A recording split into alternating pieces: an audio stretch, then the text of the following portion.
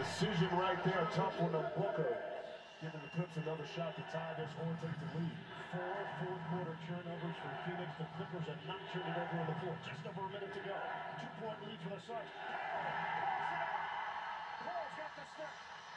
Cutter, Durant. Phoenix up by four. Timeout, LA.